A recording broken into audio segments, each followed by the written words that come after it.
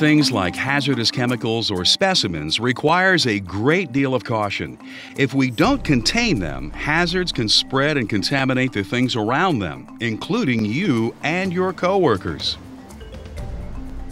Every day, we're called on to handle substances like toxins, corrosives, and carcinogens. We think we know how to protect ourselves, but are we doing all we can? Even tiny amounts of a hazardous material, combined with a few unconscious actions, can spread contamination. Let's take a closer look. The luminescent dye that's been added to this material makes it easy to trace the path of any contamination. As we can see, the dye has been spread from the liquid on the outside of the test tube to the lab worker themselves and can then be transferred to everything they touch.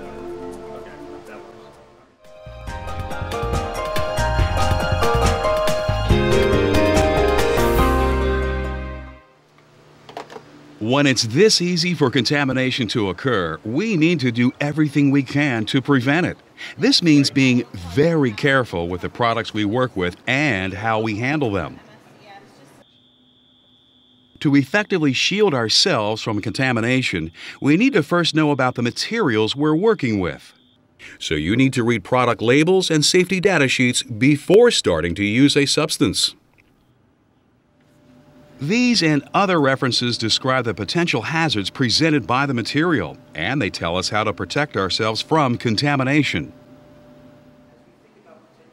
As we think about protecting ourselves, we need to consider the four major routes of entry a material has to our bodies inhalation, eye contact, skin contact, absorption and injection, and ingestion. We can guard these routes of entry by using a combination of personal protective equipment, PPE, engineering controls, and safe work practices. Let's start with personal protective equipment. It needs to be inspected before you put it on. Replace any items that are ripped or otherwise damaged and make sure you've got a proper fit. At a minimum, you should wear gloves, a lab coat, and safety eyewear. Some operations demand even more protection. For instance, face shields should be worn if there's a danger of chemical splashes to the head, face, and neck area. You need to anticipate the hazards associated with the materials you're working with and talk to your supervisor to make sure that you're using all the PPE that you need to be fully protected. You should also monitor the condition of your protective equipment throughout the day and immediately replace anything that's damaged or that may have become contaminated. Pay special attention to your gloves. Perspiration on the inside and other liquids on the outside can make gloves permeable to the very thing you're trying to prevent contamination. Change your gloves at least once every two hours or as soon as they become wet. You should also look at how you can use engineering controls to protect against contamination when you're working with hazardous materials. Equipment like splash guards and blast shields can protect your skin and eyes from inadvertent chemical contact. Exhaust hoods and other ventilation devices will keep contaminated fumes and vapors out of your breathing zone. Consult your supervisor about the engineering controls you can use in your lab to limit the spread of contamination.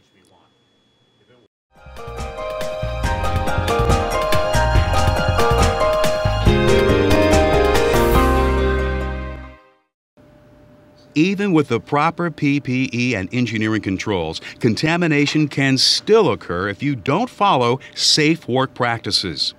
To start, this means paying attention to good housekeeping. Keep your work area neat and orderly. Avoid unnecessary clutter. Wherever possible, use small containers. And if you're not using a substance, put it back where it belongs. Any spill should be cleaned up as quickly as possible. Follow proper disposal procedures and decontaminate the spill area.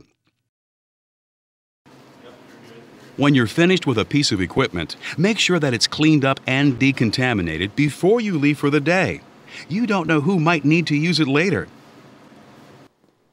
If you can't clean glassware immediately, soak it in soap and water. This will cut down on contamination and make cleanup easier.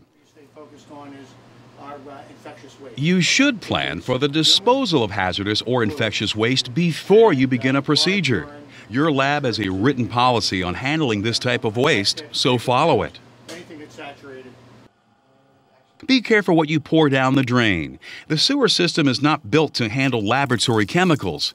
A mistake in disposal could contaminate the local supply of drinking water and other parts of the environment. Ask your supervisor or safety officer about your lab's disposal procedures.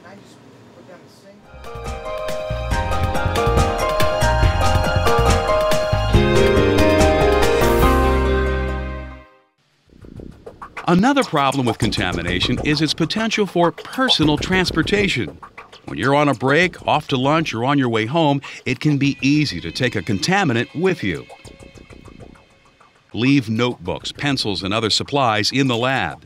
Anything you use in your work should be thought of as being contaminated. Wash your hands thoroughly before leaving your work area.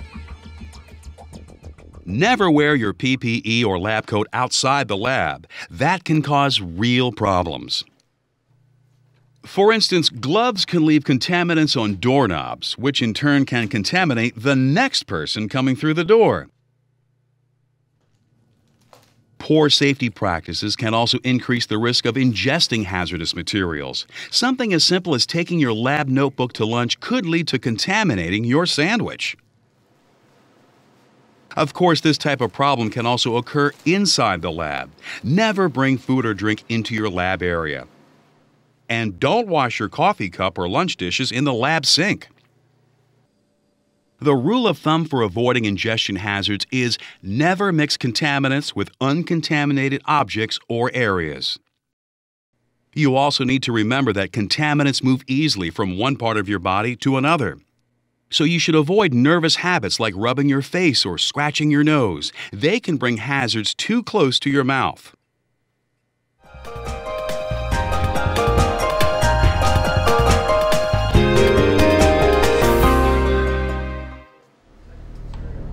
It's also important to protect the materials that you're working with from contamination. It's all too easy to contaminate a sample with a chemical unknown that can result in a false reading. To prevent the contamination of samples and other materials, keep your work surfaces and equipment clean. Check them before, during, and after your work. Decontaminate all equipment after using it. Be thorough. Follow your lab's established cleaning procedures. Pay special attention to equipment that's shared with other workers. Hot plates and stirrers, for example, tend to collect chemical residues over time. These residues can then contaminate the work that you're doing. When cleaning equipment or your lab area, make sure to use appropriate cleaning methods. Don't use air guns to blow away powder. It could easily contaminate other areas and employees. Carefully blot or sweep up the powder with a dry paper towel and dispose of it properly. Keeping things free from contamination is critical to safe and productive lab operations. Let's review. Know what materials you're dealing with. Don't make assumptions.